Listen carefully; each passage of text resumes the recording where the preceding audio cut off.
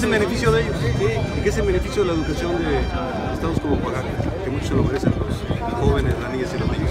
Entonces no entramos en polarización. La convocatoria es que regresen a las aulas, nosotros hacer lo que nos corresponde. ¿Siempre diálogo, señor secretario? Siempre lo ha habido, nunca lo vamos a cerrar, pero no es así como vamos a salir adelante. Vamos a salir a, vamos a, salir a partir de, de encuentro, de una relación respetuosa, de ver qué es lo mejor.